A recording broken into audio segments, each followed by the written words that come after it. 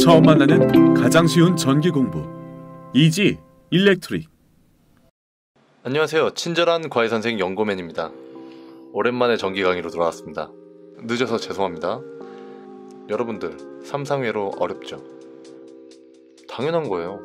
너무 많은 전기, 물리, 수학 지식이 들어가 있어요.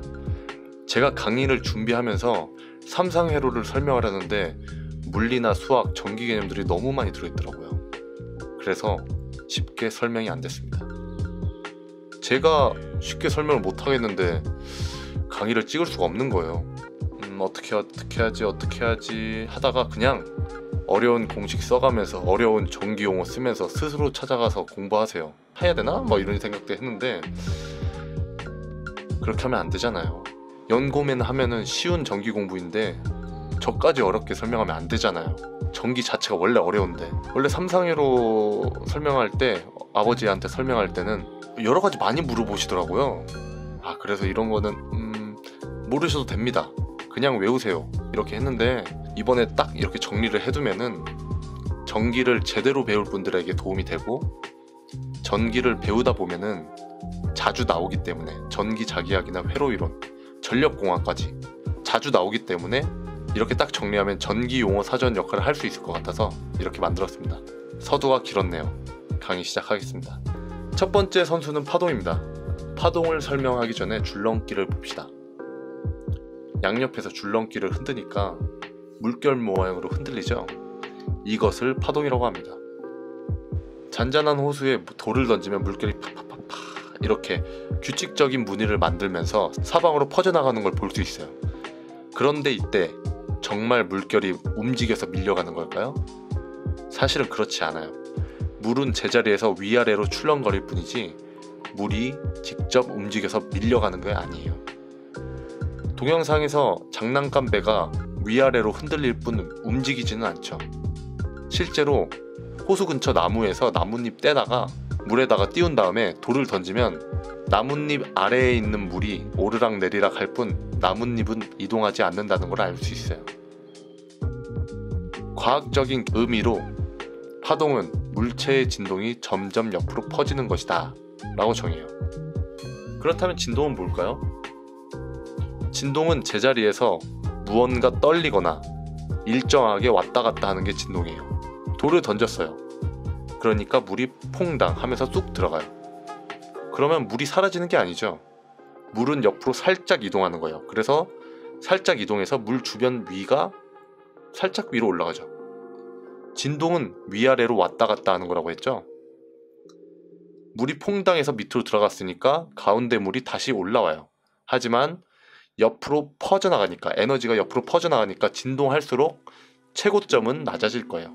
차츰차츰 줄어들겠죠. 이렇게 진동이 한 곳에서만 일어나지 않고 옆으로 자꾸 퍼져나가면 이것이 파동이 되는 거예요. 진동이 많이 뭉쳐서 파동이 되는 거죠. 야구장에서 파도 타기 하는 거 보셨죠? 처음 사람이 일어섰다 앉으면 옆에 사람이 차례로 일어섰다 앉아요. 그러면 저절로 파도 치는 것처럼 움직임이 생기는데 이때 각각의 사람들은 진동을 했을 뿐이에요. 제자리에서 일어났다 앉는 운동을 했으니까요.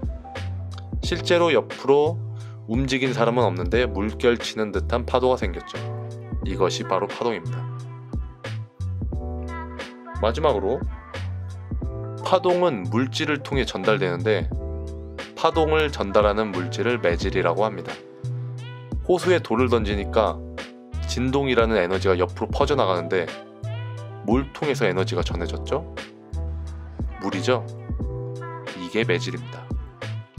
나는 할 수 있다. 잠깐 외쳐볼게요. 주위 사람이 없으면 나는 할 수 있다. 해보셨나요? 입에서 소리라는 파동이 만들어졌고 이게 공기를 통해 기로 전달됐어요. 기로 에너지가 전달됐어요. 그 에너지는 입에서 기로 갔는데 뭘 통해서 이동했죠? 공기죠. 이 공기를 매질이라고 합니다. 파동을 전달하는 물질, 매질. 이제 파동에 대한 개념을 알았으니까 수식으로 해볼게요. 전기는 수식으로 표현하는 싸움이니까. 이런 기본적인 내용들은 전기에서 계속 나올 거고 전기 자기학, 회로이론, 전력공학 계속 나올 거예요. 이번에 한번 알아두면은 이해하는 속도가 달라질 거예요. 만약에 여기서 하다가 까먹었다. 까먹어도 돼요. 다시 와서 반복적으로 보면은 구구단처럼 익숙해질 거니까. 이제 파동이라는 개념을 알았으니 그래프, 도식으로 알아볼까요? 진폭이죠. 첫 번째 진폭. 첫 번째 진폭은 키가 높냐 낮냐예요.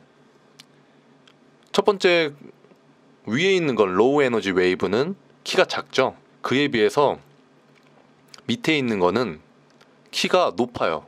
한 3배라고 볼까요? 3배라고 볼고 사인 그래프는 이렇게 그리고 코사인 그래프는 이렇게 그려요. 몰랐으면 지금 알면 돼요. 사인 그래프는 이렇게 그리고 코사인 그래프는 이렇게 그려요. 지금 여기를 기준으로 봤을 때 밑에랑 위에랑 둘 다 사인 그래프죠. 하지만 진폭은 달라요. 식은 어떻게 쓰느냐? 밑에 있는 게 3배라고 가정할게요. 첫 번째 그림을 사인 오메가 t라고 해볼게요. 오메가 t. 오메가는 좀 더 나중에 설명해 드릴게요. 첫 번째 그래프를 사인 오메가 t라고 하면은 두 번째는 키가 3배죠? 그럼 앞에 3을 곱해줘요. 이렇게 됩니다. 쉽죠? 진폭은 그냥 몇 배가 됐느냐? 그러면은 3배가 됐다면 3 sin t. 만약에 이 높이가 v예요, v. 그러면은 v sin 오메가 t. 이렇게 됩니다. 왜 이렇게 되냐고요? 사인이란 그래프는 마이너스 1에서 1 왔다 갔다 해요. 그러니까 3 사인은 다 3을 곱해요. 마이너스 3에서 3 왔다 갔다 하죠. V 사인 오메가 t는요. 사인 오메가 t는 마이너스 1에서 1 왔다 갔다 했으니까 v를 양쪽에 곱해줘요. 가운데가 v가 곱해져 있으니까 그러니까 마이너스 v에서 v로 왔다 갔다 하는 거죠. 여기 제, 제일 높은 최대값이 v, 제일 낮은 최대값이 마이너스 v 이렇게요. 그리고 두 번째 주파수는 그냥 느낌만 아세요. 우선은 느낌만 주파수가 엄청 꼼꼼하죠. 꼼꼼하다. 그림을 두 개를 보면은 위에 거는 빽빽하죠. 밑에 거는 흐물흐물 좀 더 넓어요. 크기가 위에 거를 주파수가 높다. 밑에 것을 주파수가 낮다. 밑에 거를 사인 오메가 t라고 해볼게요. 그럼 위에 거는 한 몇 배가 될까 이게? 음... 하나, 둘, 셋. 하나에 세 번 왔다 갔다 했죠? 가운데다 3을 곱해줍니다. 쉽죠? 주파수는 가운데 쪽에 3을 곱해준다. 그리고 제일 중요한 위상. 이걸 줄여서 상이라고 하는데요. 영어로 하자면 phase. 위상이라는 것은 파동을 특징 짓는 넌 잘생긴 파동이야. 넌 못생긴 파동이야. 넌 키 큰 파동이야. 파동을 특징 짓는 세 가지 변수 중에 하나예요. 첫 번째는 진폭, 두 번째는 주파수, 세 번째는 위상이죠. 이 위상은 동일 주파수에서 얼마나 어긋나 있는가 하는 거예요. 위상은 동일 주파수에서 동일 주파수여야 돼요. 다른 주파수끼리는 위상 차이를 둔다고 하면 안 돼요. 동일 주파수에서 파형이 어느 위치에 있는가. 또 쉽게 말하자면 출발 위치를 결정하는 값이에요. 출발 위치를 결정하는 값. 출발 위치를 결정하는 값. 빨간색을 사인 오메가 t라고 해봅시다. 그렇다면 파란색은 뒤쳐져 있죠? 뒤쳐져 있으니까 사인 오메가 t 마이너스 세타. 세타만큼 세타만큼 차이가 있는 거예요. 세타만큼 차이가 있다. 파란색은 느리니까 뒤로 빼주는 거예요. 1번 시가고 2번 시가고는 위상 차이가 세타만큼 있다 라고 하는 거예요. 또 다르게 말하자면 2번식은 1번식보다 세타만큼 위상이 세타만큼 느리다 라고 할 수 있어요. 다시 한번 정리. 진폭은 높이에요, 높이. 이거를 사인 오메가 t로 하자면은 높이는 어디다 곱하다고 했죠? 앞에다 곱하는 거죠. 3배 높다고 해볼게요. 3 사인 오메가 t. 주파수는 이거를 사인 오메가 t라고 가정하면은 3배라고 생각해 볼까요? 가운데다 곱해준다. 주파수는 가운데다. 3 오메가 t. 위상 위상은 동일 주파수 안에서 얼마나 어긋나 있는가를 말하는 거예요. 파란색이 좀 더 늦죠? 최고점을 기준으로 조금 더 뒤에 있어요. 뒤에 있으면은 빼준다. 빨간색을 사인 오메가 t라고 하자면은 파란색은 사인 오메가 t인데 세타만큼 늦었죠. 마이너스 세타. 이렇게 합니다. 위상은 얼마나 빠른가, 얼마나 느린가. 이걸 사실 각도라고 예전에 표현했었는데 조금은 다르죠. 같은 주파수 안에서 얼마나 시간차가 있느냐, 얼마나 어긋나 있느냐. 이제 식으로 알아볼게요. 이건 뭐죠? x라는 식이 있는데 그거는 변수는 t예요. 어떤 거냐면요. 3t, y는 3t라는 식이 있어요. t만 변해요. y는 t 제곱 플러스 t. t만 변해요. y는 3t 제곱 플러스 at. 이렇게 있다면은 x 가로치고 t는 t만 변해요. a는 숫자가 정해져 있는 거예요. 뭐 3이나 5나 이렇게 정해져 있는 것. 그러니까 x 가로치고 t는 t만 변하고 다른 것들은 상수, 다른 것들은 숫자예요. 다른 것들은 숫자. t만 변한다. 변하는 수, 변수. t만 변수다. a는 뭐죠? 진폭이죠. 여기 앞에 있는 거는 t 앞에 있는 것 t 앞에 있는 것은 주파수 세타는 위상 어? 위상이 플러스네요 그럼 어떤 거죠? 이렇게 있는데 위상이 플러스다 위상이 플러스다 플러스다 빠르다 이렇게 되는 거죠 이만큼을 세타라고 하면은 세타만큼 빠르다. 그리고 이것도 중요한 건데 전기자기약이나 회로 이론에 많이 나오는 거예요. 2파의 F는 오메가다. 2파의 F는 오메가다. 오메가는 각속도. 이렇게 있으면은 1초당 얼마나 이동했느냐. 직선거리가 아니에요. 원이라는 특별한 상황이죠. 얼마나 이동했느냐. 그래서 2파의 F는 오메가. 이거를 기억해 두고 2파F는 오메가기 때문에 2파F를 오메가로 바꾼 거예요. 위의 시각고 밑의 시각은 똑같다. 헷갈리지 마세요.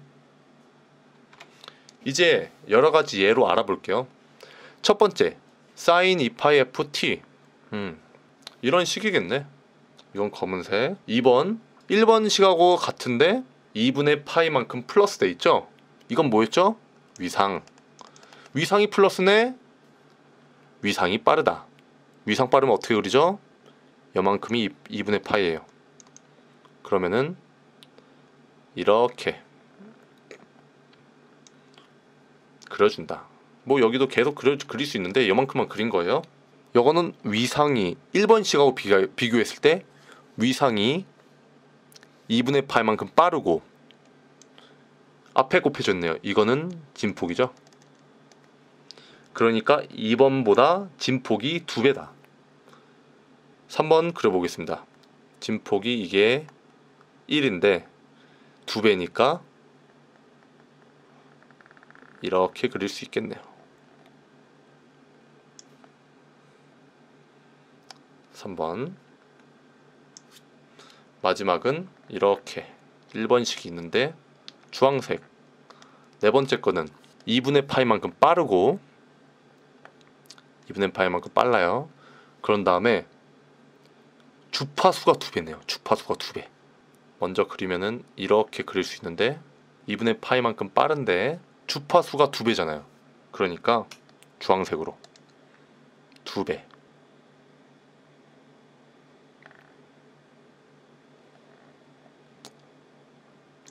이렇게 그릴 수 있겠네요. 초록색은 지우면 4번식은 이렇게 그릴 수 있겠네요. 주파수는 꼼꼼하다. 이렇게 기억해 두세요. 혹시나 해서 하는 말인데 이거를 완벽하게 외우지 않아도 돼요. 우선은 나중에 이거 뭐였지 하고 찾아보면서 익숙해질 거예요. 곱셈처럼. 구구단처럼 익숙해질 거니까 걱정하지 마세요. 그리고 파동 마지막 주기와 주파수입니다. 이렇게 그렸을 때 여기를 2파이라고 해봅시다. 2파이. 이거는 4파이가 되겠죠? 이거랑 이거랑 똑같은데 똑같은 모양. 똑같은 모양이 2파이마다 그려져요. 이것을 주기라고 해요. 사인 t라고 해봅시다. 사인 t. 여기서 b는 뭐예요? 1이죠. 1 곱하기 t는 1 곱하기 t는 t잖아요. 여기에 1이 곱해져 있는 거나 다름없어요. 주기는 b분의 2파이다.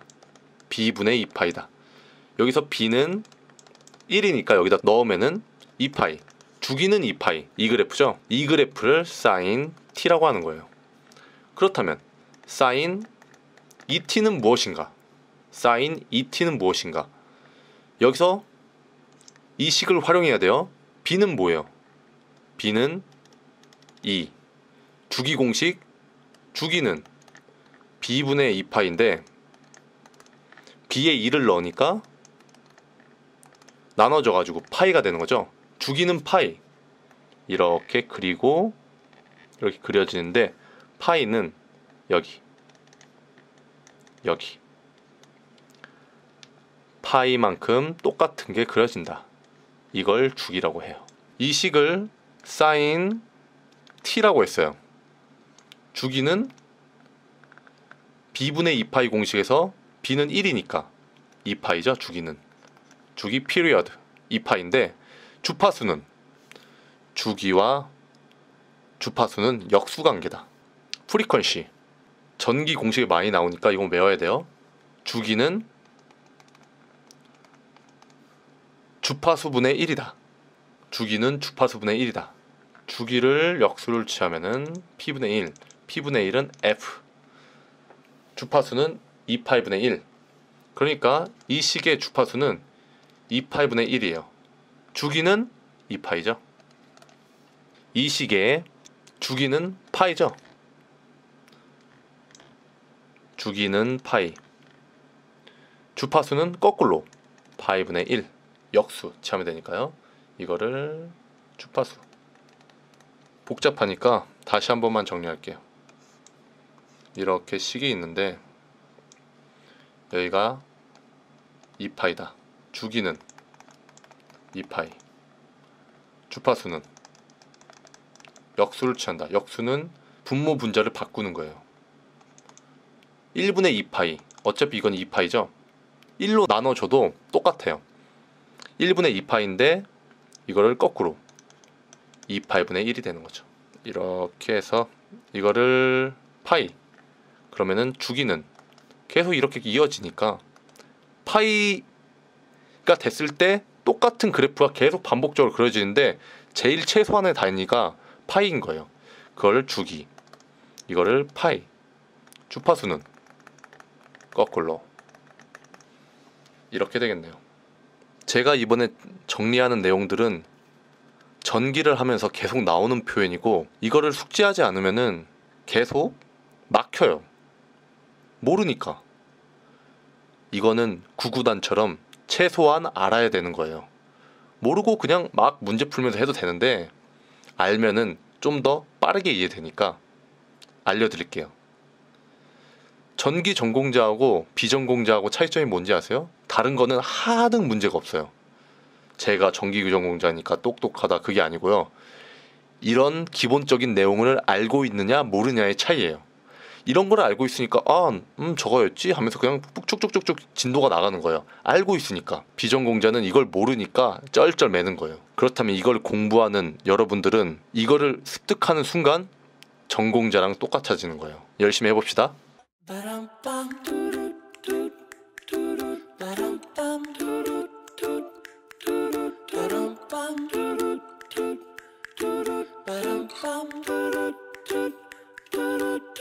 bang.